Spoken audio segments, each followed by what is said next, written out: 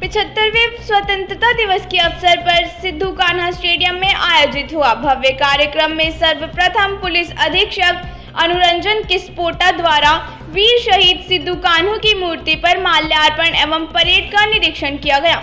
तत्पश्चात ज़िले के उपायुक्त राम निवास यादव द्वारा सिद्धू कान्हू पर माल्यार्पण कर श्रद्धा सुमन अर्पित किया गया।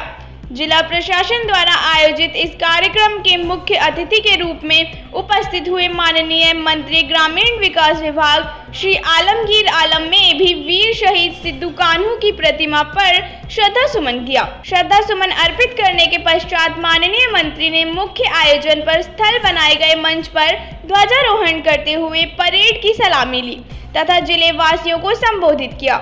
इस दौरान मंच पर उपायुक्त, पुलिस अधीक्षक समेत ज़िले के सभी वरीय पदाधिकारी संघ की उपस्थिति में राष्ट्रगान गाया गया।